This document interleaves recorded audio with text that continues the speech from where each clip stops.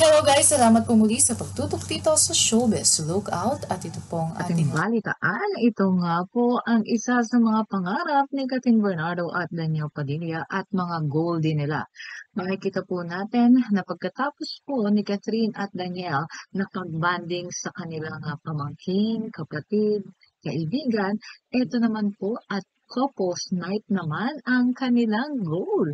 Makikita natin ang iba't ibang mga kaibigan nila Catherine couples. Siyempre, una na si Catherine at Daniel. Sila Yumes at si Ria Atayde at ang iba pa nilang kaibigan. Makikita po natin yan na nakatag kay Miss Catherine Bernardo. Wow!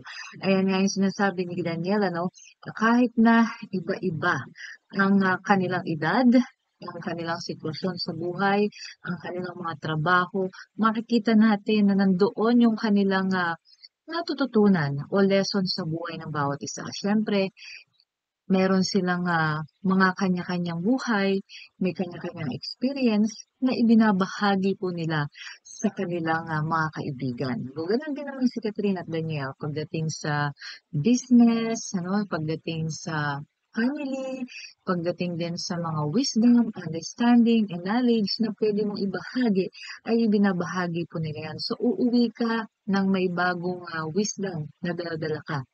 At yan nga ang napakaganda no, kay Catherine at Daniel dahil may mga kaibigan talaga sila na nandyan at lagi ano, ah, handa laging ah, makinig, at tumulong at ganoon din naman si Catherine at Daniel. Handa laging tumulong at makinig anuman ang ah, kinakailangan ano, sa pagtulong nila.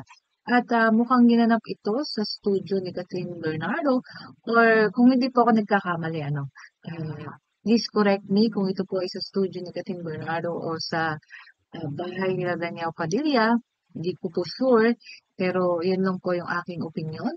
Pero kung kayo po nakakaalam kung saan po ito, please ah, comment your ah, comment in our comment section. Ayan, paulit-ulit na yung comment. Sorry po.